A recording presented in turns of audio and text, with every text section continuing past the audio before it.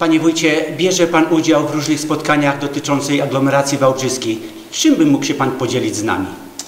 W aglomeracji wałbrzyskiej w- wśród 23 e, uczestników tej aglomeracji są poszczególne grupy samorządowców, które e, są jak gdyby wytypowane do pewnego, do pewnego rodzaju rozmów. Akurat tak się składa, że ze względu na bliskość granicy burmistrz Lubawki, ja, e, burmistrz Miaroszowa, Uczestniczymy w tych rozmowach przygotowujących współpracę polsko-czeską, y, a konkretnie aglomeracji wałbrzyskiej, gmin aglomeracji wałbrzyskiej y, z krajem Hradec, y, Kralowo-Hradeckim, tym, który bezpośrednio sąsiaduje z nami. To są porównywalne ilości mieszkańców w granicach 450 tysięcy po stronie aglomeracji i po stronie y, czeskiej. Te prace, które, w których uczestniczyliśmy y, w kilka osób, y, zakończyły się mm, 18 mm, marca tego roku w Hradec Kralowe takim uroczystym podpisaniem memorandum o współpracy kraju y, Kralowo-Hradeckiego i y, aglomeracji wałbrzyskiej. Natomiast dalsze rozmowy prowadzą do tego, żeby mm, zainteresować obie strony budową e, drogi szybkiego ruchu S3 i ostatnie uczestnictwo w Hradec Kralowe, konkretnie e, 8 e, kwietnia tego roku, miało na celu e, omówienie e, takiej konferencji, spotkania ministrów transportu strony polskiej strony czeskiej.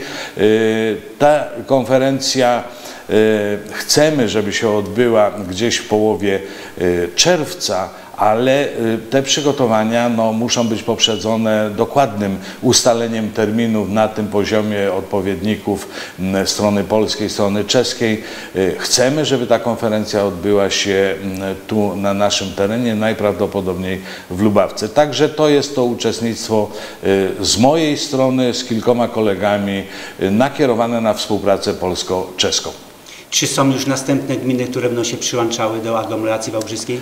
Nie, nie ma takich e, założeń, nie ma takiej e, idei.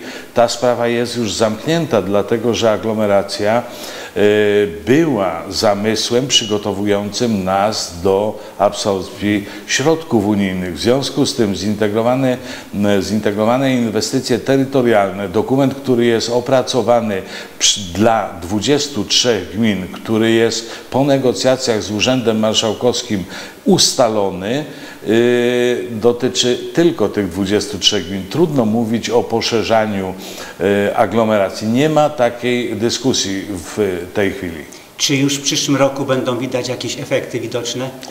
Myślę, że tak. Zależy to wszystko od y, ustaleń w tej chwili już na etapie y, y, Urzędów Marszałkowskich z Brukselą, regionalnych programów operacyjnych, dlatego że ich jest 16 w Polsce i one, z tego co wiem, na początku kwietnia miały trafić, trudno mi powiedzieć, albo 4, albo 8 kwietnia miały trafić do Brukseli do ostatecznych uzgodnień. Jeżeli ten dokument zostanie uzgodniony z Brukselą, wtedy rozpoczyna się nabór wniosków i myślę, że efekty już w przyszłym roku y, będą przy tych pierwszych, po tych pierwszych naborach będą już widoczne. Panie wójcie, dziękuję za rozmowę.